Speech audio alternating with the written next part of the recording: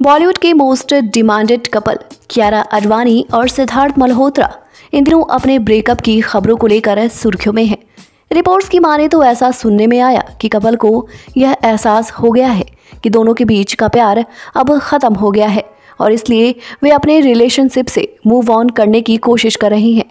लेकिन बाद में कई बार इस कपल को साथ में पब्लिकली स्पॉट किया गया, जिसके बाद यह अटकलें लगाई जा रही हैं कि दोनों एक बार फिर अपनी दूरियों को मिटाकर साथ हैं। इसी बीच क्यारा ने सिद्धार्थ मल्होत्रा के साथ अपने रोमांस के बारे में प्रतिक्रिया दी है।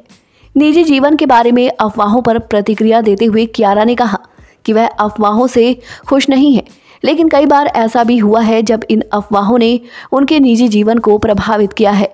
हमें अंधे हो जाना चाहिए ताकि इन बातों से हमें कोई फ़र्क ना पड़े। एक्ट्रेस ने कहा कि वह अंत में कहना चाहती हैं कि उनका काम बोले। फ़िलहाल क्यारा और सिद्धार्थ के रिश्ते इस समय उछाल मार रहे हैं। आपकी इन दोनों के बारे में क्या राय है? कमेंट करके ज़रूर बताइएगा।